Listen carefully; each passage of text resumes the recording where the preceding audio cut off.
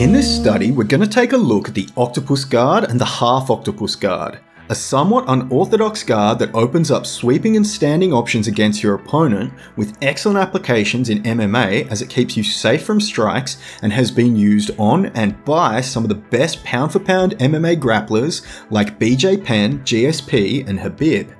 Popularized by Eduardo Telles, the octopus guard requires you to get both your opponent's arms across your center line, and from there you sit up and wrap over their shoulders while pressuring down on the back of their head or hips. Once in that position, you are safe from strikes, and the act of striking in MMA will open up the opportunity to attain the position as you swim underneath them and into the octopus guard.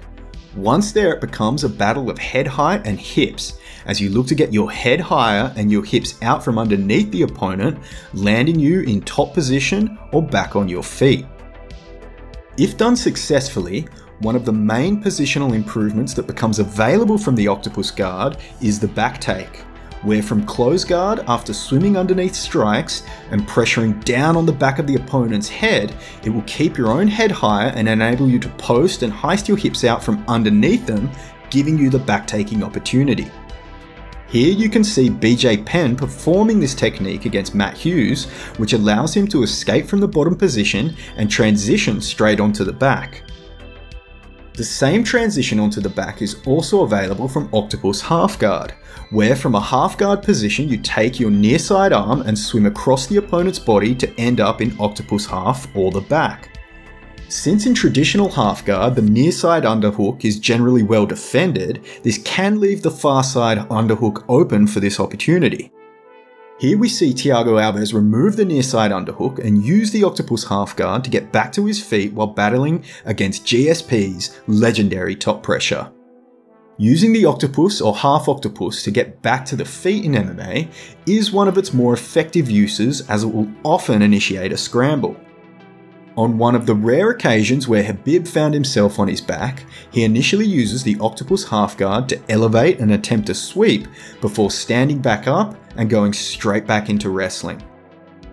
And here Thiago Alves uses it again against GSP, and while the initial attempt is countered with a crossface, as GSP moves to a reverse half guard, Alves seizes the opportunity to stand back up. And perhaps learning from this, Michael Bisping also used it against GSP in their bout, as he moves to Octopus half guard with his head high, he posts on his right hand to heist his hips out from underneath GSP and get back to his feet. Another sweeping option from the Octopus guard is a basic hip bump sweep. We can see Brad Riddell use it here from half guard, where he moves to octopus half, gains head height and starts to hip heist, but as Mullarkey attempts to crossface, it allows him to step around the back and complete the sweep. If you are unable to gain head height on your opponent as you attempt this technique, then you may land in a turtle or a false half guard.